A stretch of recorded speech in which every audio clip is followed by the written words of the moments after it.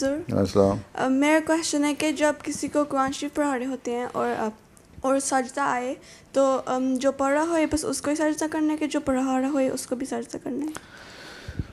जो दोनों ही पढ़ रहे हैं एक तरह से तो ठीक है? दोनों भी कर लें तो हरज नहीं और अगर ऐसी जगह पे हो जहाँ नहीं सजदा कर सकते तुम लोग तो ज़रूरी भी नहीं है कि सजदा करना ठीक है?